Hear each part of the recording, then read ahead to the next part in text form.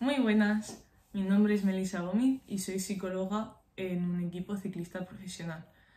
Eh, durante todo el año yo realizo la función de psicóloga, pero también mm, de psicóloga deportiva, pero también realizo la función de psicóloga mm, de los recursos humanos cuando tenemos que hacer los contratos y la selección de, de personal que queremos en nuestro equipo. Para la selección de personal eh, hago previamente un análisis del puesto de, trabajo, o sea, de la tipología de ciclista que vamos a seleccionar y busco eh, el ciclista que más se amolde a esas características.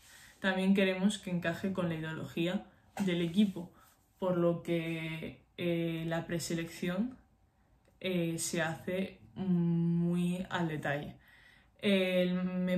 mm, hacemos un trabajo con un conjunto, eh, tanto el manager como los directores, como yo, para elegir lo que ya he dicho, el mejor corredor que se adecue al equipo y con las características que queremos. Este trabajo, pues es un, o sea, mi trabajo de recursos humanos es centralizado, ya que dependo de, del jefe, por decirlo de alguna manera. Em, nuestro contacto con los corredores generalmente es eh, a final de temporada que se hacen los, los fichajes. Nosotros los ojeamos durante toda la temporada y nos ponemos en contacto con ellos. Por lo que el proceso tradicional de selección de personal no se hace.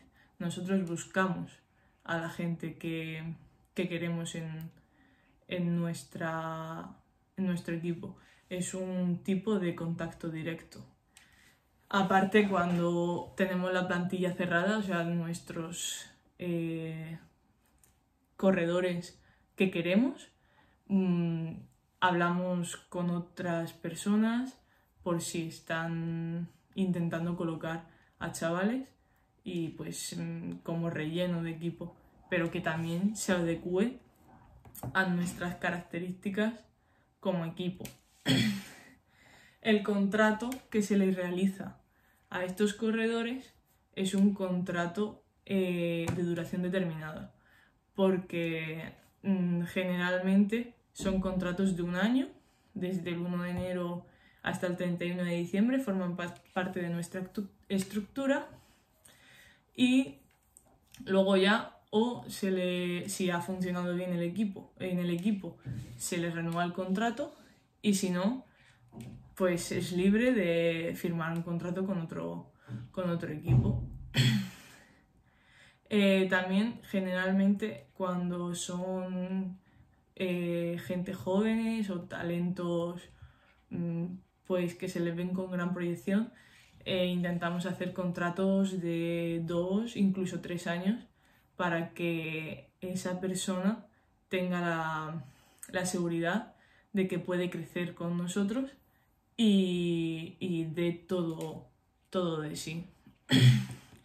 en este contrato dejamos bien claro cuáles son los derechos y las obligaciones que tienen como corredores.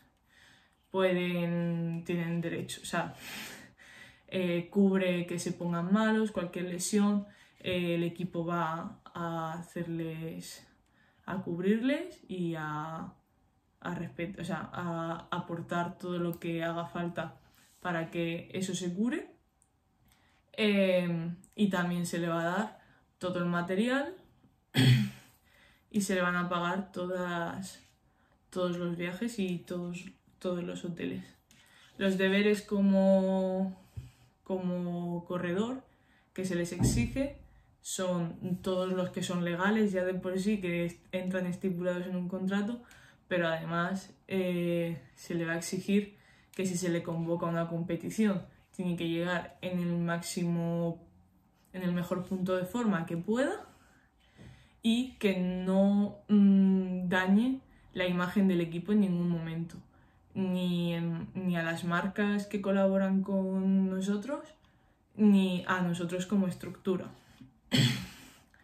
Este proceso eh, generalmente dura dos meses, dos meses el de hacer contrato y seleccionar a los corredores y después ya mm, cumplo función de, de psicóloga deportiva para trabajar con el equipo y conseguir que, que los corredores den lo mejor de sí. Hasta aquí el vídeo. Eh, muchas gracias por su atención y espero haberme explicado lo mejor posible.